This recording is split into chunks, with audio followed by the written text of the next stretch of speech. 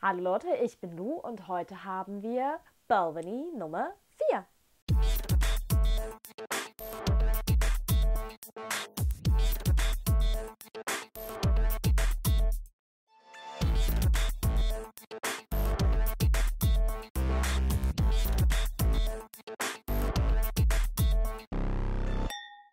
Ja, heute Balvenie Nummer 4. Wir bleiben immer noch beim Single Barrel, aber diesmal haben wir einen Sherry Cask. 15 Jahre, 47,8 Prozent. Und da freue ich mich jetzt natürlich schon wieder ganz doll drauf, weil äh, Vergleich zu gestern, der Hammer, sage ich euch. Farblich auf jeden Fall schon mal wow. Und äh, ich erwarte jetzt natürlich auch ein bisschen was davon. Ich hatte jetzt die letzten zwei waren Ex-Bourbon Casks. Ähm, die waren nett, lecker, aber ähm, ja, nett eben. Die Tan 1509, der allererste, war auch äh, im Sherry Butt mit. Nochmal Farbvergleich, ne? Ist sich ähnlich.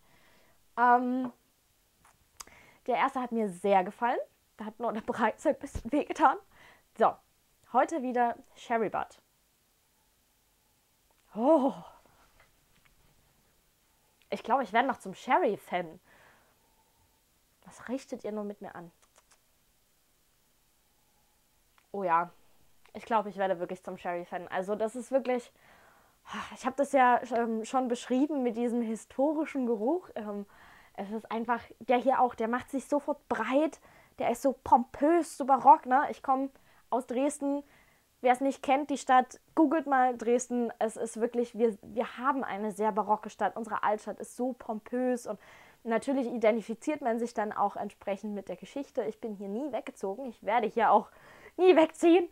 Und äh, es ist einfach, man lebt das dann auch so emotional so ein bisschen. Und äh, wenn man dann in die Museen geht und diese ganze Kultur auch so ein bisschen mitbekommt, ist es ähm, super, super schön. Und da passt so ein Sherry einfach, so, so ein Sherry-Finish oder Lagerung einfach super dazu. Ne?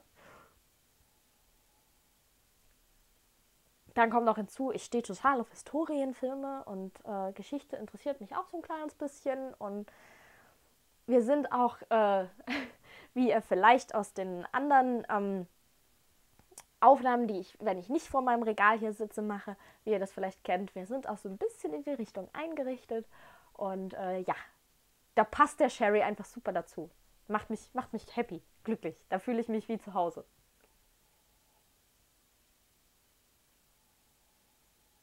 Sehr, sehr intensiv, sehr breit, sehr holzig auch. Sehr dunkel. Ach, das, das fühlt sich richtig an, als würde ich an, an so ein Fass riechen. Na, das ist. Der ist wirklich sehr auch herb, sehr dunkel kaum Süße dabei, wirklich ein sehr erwachsener, sehr reifer Whisky. Wie alt ist der eigentlich? Habe ich das gesagt? 15 Jahre. Also auch ein, ja, kann man, kann, kann man machen.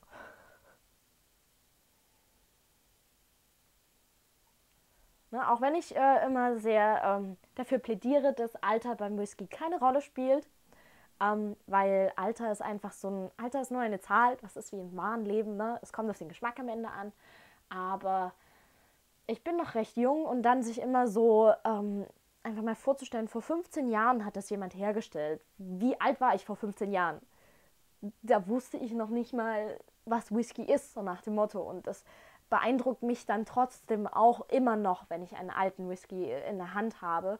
Teilweise kann ich ganz locker und flockig noch Whiskys trinken, die älter sind als ich.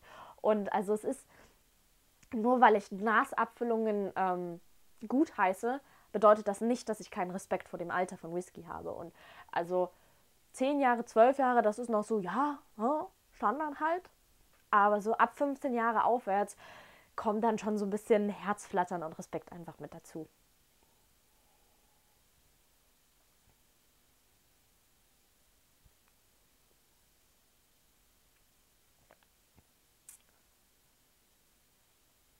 Hm.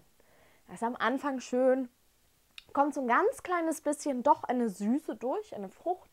Ähm, aber was sehr mildes, sehr angenehmes, dann wird der sehr holzig. Der kommt so richtig angerollt. Ich habe das ja oft bei den ähm, Peated Whiskys, dass der Rauch so angerollt kommt. Hier kommt so das Holz angerollt, so als würde das Fass auf dich zurollen und dich über den Haufen werfen. Und so ist der auch. Der rollt an, wird holzig, wird sehr holzig, so fast, dass ich sage, uh, aber wirklich nur so ganz, ganz, ganz kurz davor. Und dann wird das sehr angenehm. Dann kommt so ein kleines bisschen mit der Honig dazu. Er ist nicht ganz so historisch, wie ich es jetzt erwartet hätte.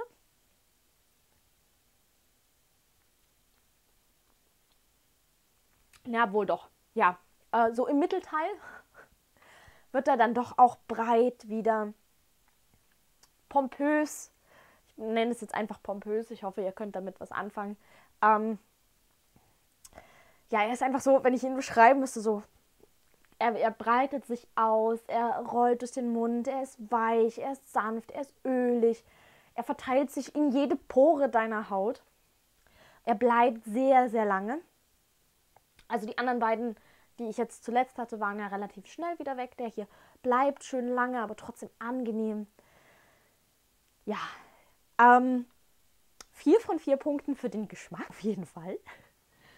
Ähm, sehr, sehr, sehr, sehr, sehr, sehr lecker. 100 Euro sind ähm, natürlich wieder mal nicht so ganz meine Preiskategorie, aber hier würde ich sogar so weit gehen, dass ich sage, ja, drei von vier Punkten, auch für das äh, Preis-Leistungs-Verhältnis, einfach weil es natürlich nicht meine Preiskategorie ist. Ähm, damit, äh, ja, leider ne, wird das ein gut gehütetes Sample immer im Schrank bleiben, was äh, auch leider kein anderer trinken darf. Ähm, aber super, super, super leckerer Whisky. Also das äh, Single Barrel Sherry Cask kann ich nur empfehlen. 15 Jahre alt. Super, super lecker. Ich freue mich auf morgen zu Sample Nummer 5 und bis dahin Slange. Und damit ihr auch ja keinen Whisky mehr verpasst, abonniert mich auf meinen Social Media Kanälen und schaut nochmal auf meinem Blog vorbei. Da gibt es noch jede Menge mehr Infos zum Thema Whisky für euch. Und bis dahin, Slange war.